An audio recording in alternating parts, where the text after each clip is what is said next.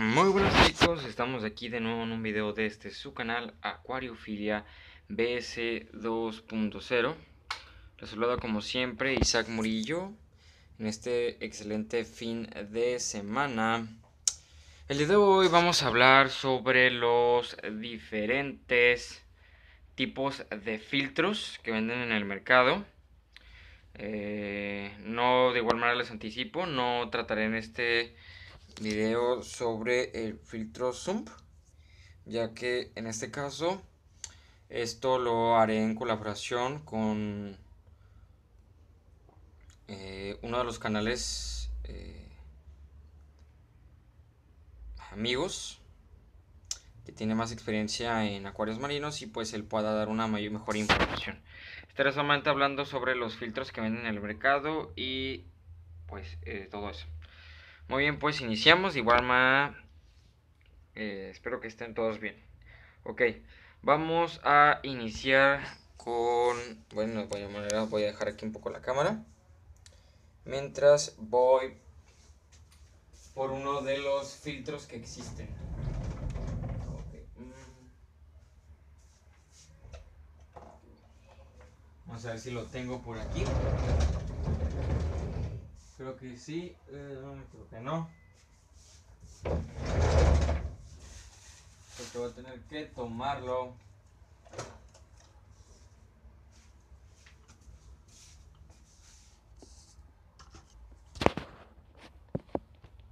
Voy a poner ahí a ver si si enfoco un poco, parece que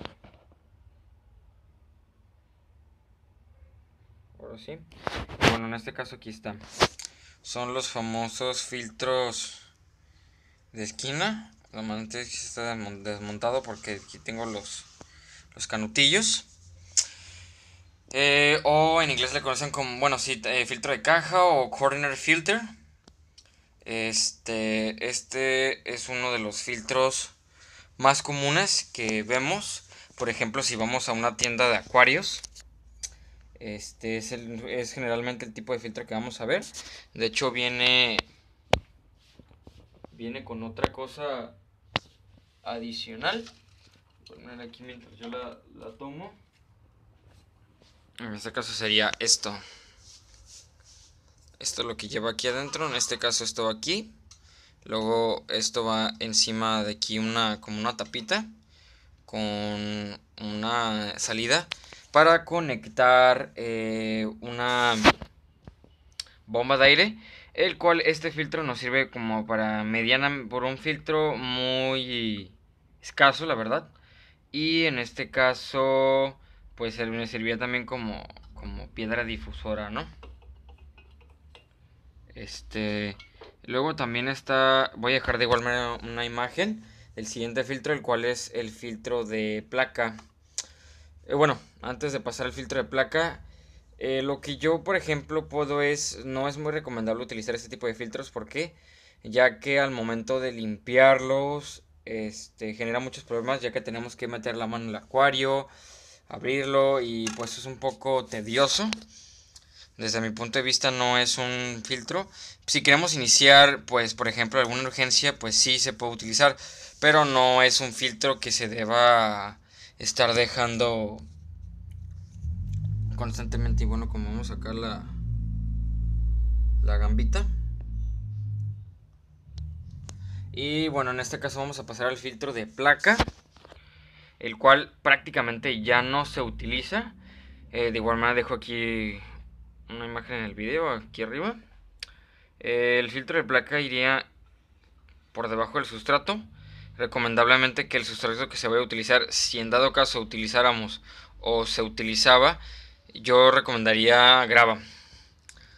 Que no se compacte mucho para que pues, de igual manera se pueda algo, algo de filtración, pero ese tiene muchos problemas ya que se junta mucho la, la suciedad. Este y pues es muy difícil de ya que muy difícil de limpiar, ya que al momento de que nosotros queramos removerlo o quitarlo, pues tenemos que remover todo el sustrato y si pues tenemos plantas, pues no nos va a servir prácticamente de, mucho. Como les comentaba, de igual forma dejo aquí imágenes. Aquí arriba de, del video. Eh, luego vamos a lo que son los filtros cabeza de poder. Eh, este, este sería un tipo, sería un modelo bastante pequeño. O power head, como le llaman en inglés. Power head filter. Eh, las cuales son filtros, son, son buenos. Eh, este tipo de filtros nos sirven si por ejemplo queremos crear corriente en la parte superior de la del acuario, en la superficie. Por ejemplo, para peces como Ancistrus, Loricarias, peces de este tipo, que son peces que gustan de tener algo de corriente en el... Disculpen, es que se, se, cortó aquí. Eh, como les comentaba, son, eh, si queremos crear corriente, pues sirven para ese tipo de peces. Los cuales de igual manera también, por ejemplo, podemos eh, ponerlos en la parte esta aquí arriba para crear un poco de corriente como si fuese un tipo eh, como cascada. De igual manera si lo, voy a acomodar. Mientras les dejo aquí la, la vista de la pecera. Estaremos viéndolo. De igual manera aquí se ve la, la gamba. Vino aquí a, a saludarnos. Voy a estar conectando lo que es el filtro. Y veremos cómo es, cómo funciona. de igual manera vuelvo aquí a dejar la, la cámara, a ver si la si logra enfocar a la, a la gamba.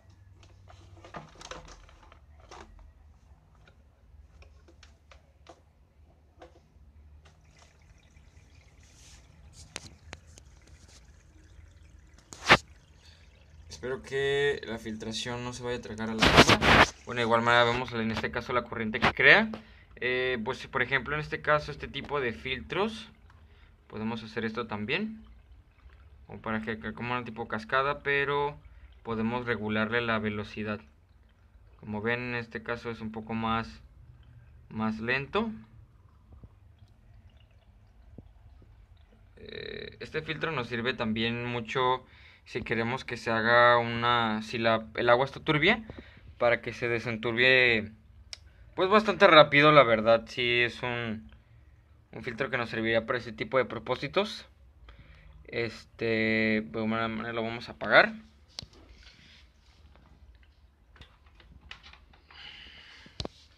Eh, pues existen también otros tipos diferentes, el cual de igual forma también dejo imágenes. Eh, hay, dependen hay diferentes tipos. Eh, diferentes marcas, modelos, los cuales como por ejemplo el filtro de placa pues no, no, no puede tener ningún, ninguna capacidad de carga eh, para poder ayudarnos en la filtración, ya sea biológica o en este caso esponjas, canutillos. Y por ejemplo este tiene una capacidad pues bastante pues, chica. Eh, los filtros de caja por general son muy pequeños. Y luego, por ejemplo, eh, este tipo de filtros, la carga es mediana. Eh, los filtros de, cabeza de poder, la carga es más medianamente.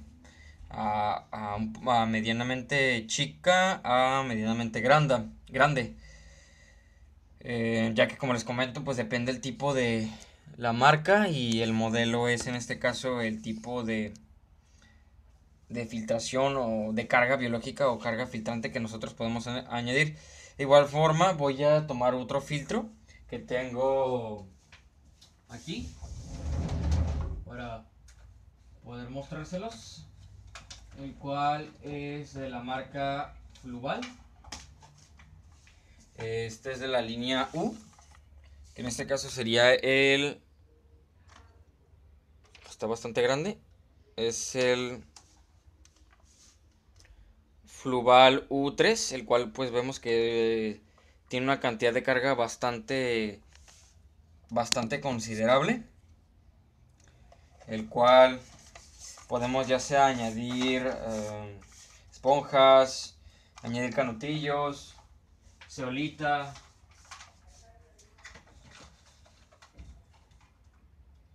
y materiales de ese tipo que nos puedan estar ayudando en la, en la limpieza.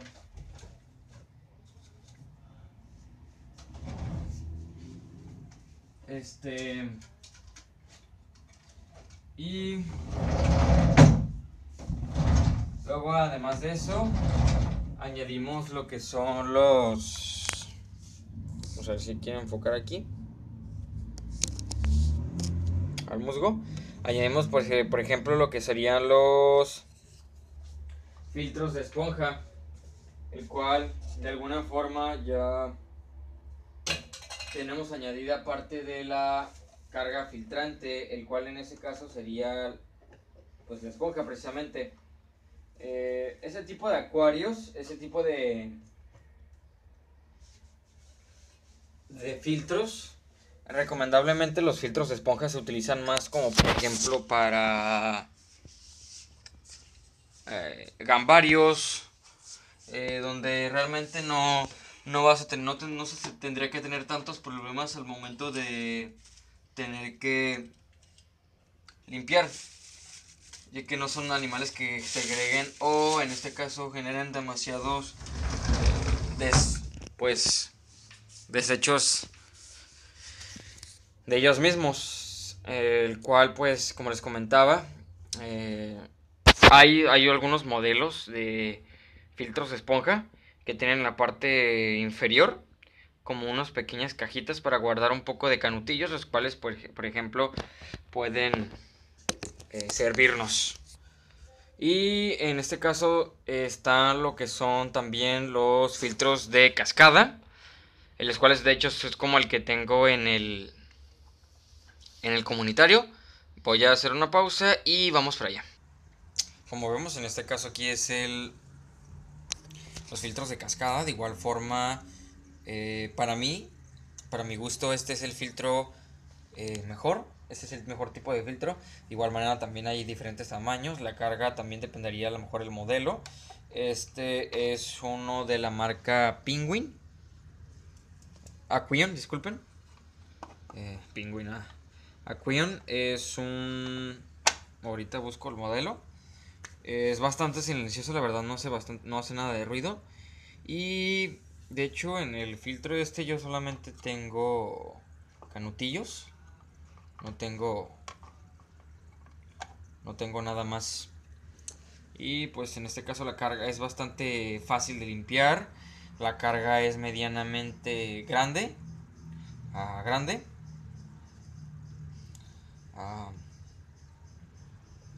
El cual pues es bastante estético, no ocupa tanto espacio y pues no es necesidad de de igual manera de tener que tener em,